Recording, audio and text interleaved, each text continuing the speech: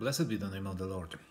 It's very surprising to me that very few people see that the end is coming now. Today I want to present to you the timeline of the last days, the timeline of these last 10 years. We have about 10 years left. We know the seasons and we know what's coming. And if you don't know com what's coming, then that means you live in darkness.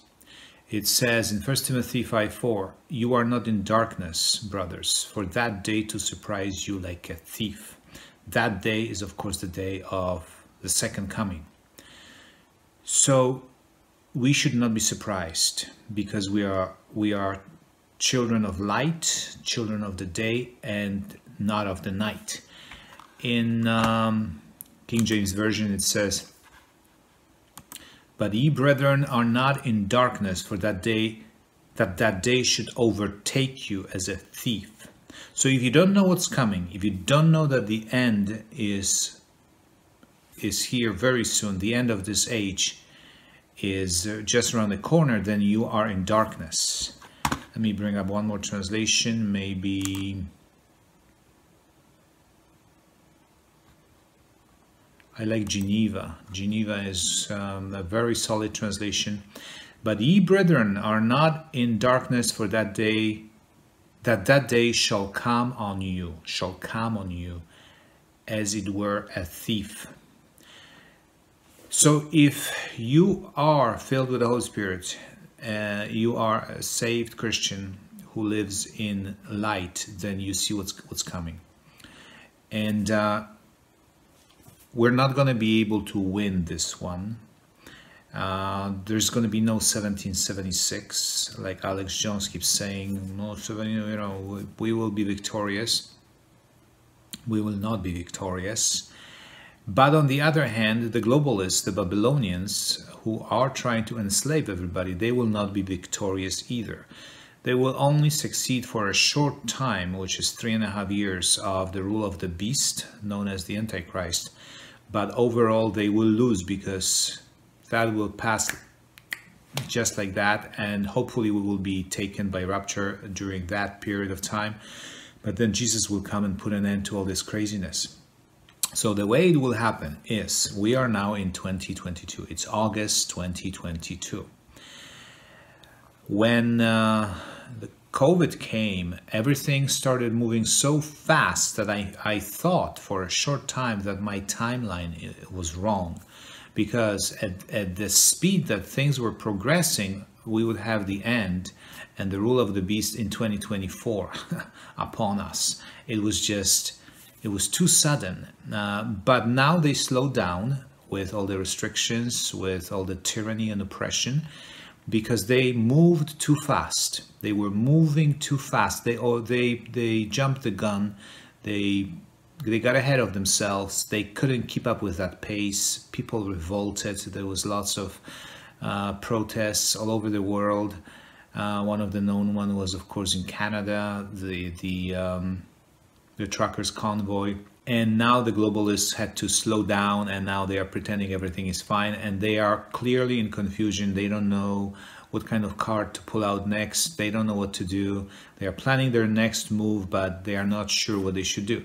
But regardless of what they do the plan is god's not theirs. And i believe god's plan is as follows.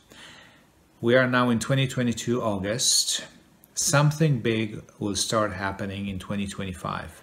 Of course, there will be there will be all the commotion and the usual accusations and lies and and schemes uh, coming up to the election in the United States.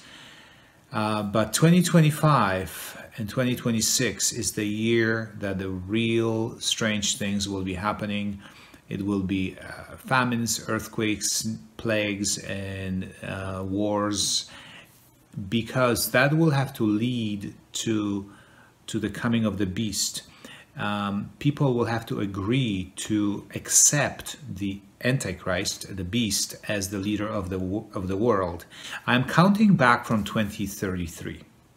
I believe that's the year that Jesus will come, because because of 2,000 years since the cross, because of the blood moons that are showing up again 2033. So as I'm counting back from 2033, uh, the year that the beast will come on stage will be elected the leader. Everybody will agree to that. Uh, that will be in 2026. So 2025 has to be really bad for people to agree for the beast to become the leader of the world. And then um, for three and a half years, he will be benign and things will start looking good. And uh, 29 and a half is halfway through the seven year period of the rule of the beast. And that's when the rapture should happen.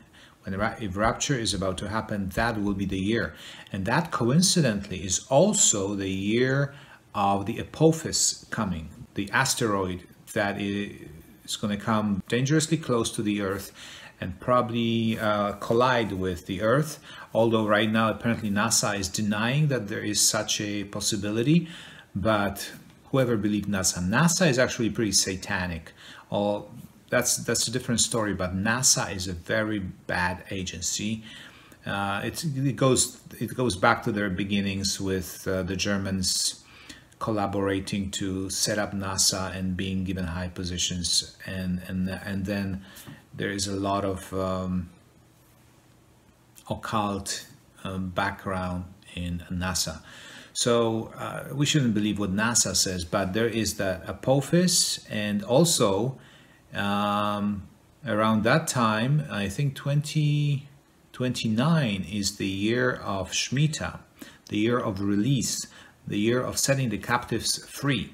If the Jewish calendar is correct and if the uh, Shemitah year is still counted correctly, then it is 29. So that's that that would be the year of rapture and that would be the year of the beginning of the great tribulation from 29 and a half to 20 to 2033 that's three and a half years and then 2033 right after the last blood moon which happens uh, on Jewish feasts in the fall of 2033 that's when Jesus comes to earth for the final judgment so stay ready watch and pray. There's still 10 years left till the end, more than that, 11 years, and uh, quite a few years till the rapture.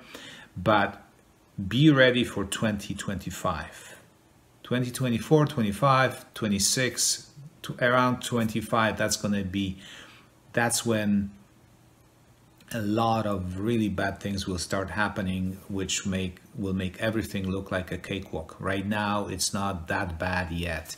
They are pushing for it they are trying but they're often failing. But there will be a spiritual element in all of this. Um, satan will be allowed to inter to interfere and 2025 is the year that um, dangerous perilous things will be happening on the earth so stay ready. May the Lord richly bless you from Zion. Take care. Bye bye.